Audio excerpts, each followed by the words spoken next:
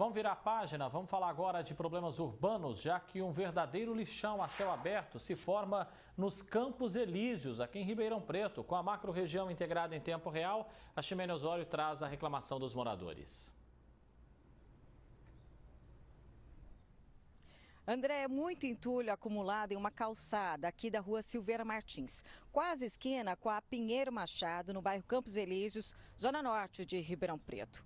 Tem restos de podas de árvores, sofá, várias outras coisas por aqui, atrapalhando não só a passagem de pedestres, como também provocando mau cheiro, né, incomodando os moradores dessa região, né? A Aline está aqui ao meu lado e fala um pouquinho dessa situação. Já faz mais de um mês que está assim, né, Aline? Boa tarde para você. Boa tarde.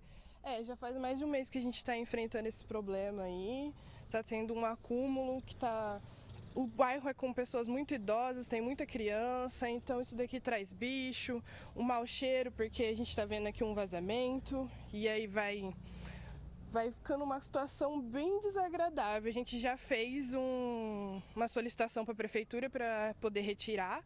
O que acontece é que o pessoal passa aqui, como começaram a jogar podas de árvore, o pessoal começou a passar e ver como um local de o local de jogar os entulhos. Então começou a gente vir de outras, de outras ruas, de outros lugares para vir depositar as coisas aqui. Inclusive esse sofá que está queimado aqui, queimou em outro lugar, né? Sim, a gente foi, eu fui levar minha cachorra para passear, alguém botou fogo no sofá, chegou perto da rede elétrica, a gente conseguiu jogar água e tudo mais e a pessoa veio descartar o sofá aqui em vez de procurar outro modo de descartar.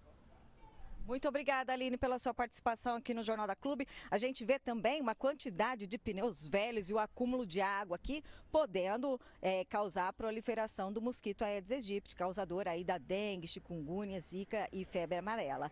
Todo cuidado é pouco, mas a prefeitura informou que a responsabilidade pela limpeza das calçadas e de restos de podas de árvores são dos particulares, ou seja, uma escola aqui ao lado é uma escola particular, então essa escola vai deve ser autuada a providenciar a limpeza aqui da calçada. Mas informou que uma equipe da fiscalização geral vai verificar a situação certinho, viu, André?